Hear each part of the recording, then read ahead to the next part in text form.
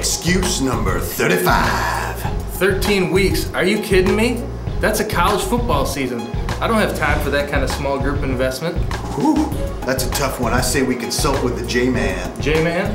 That's right. How much time do you spend watching TV, going to events, activities, and leisure? You make time for what matters, and this matters. Boom!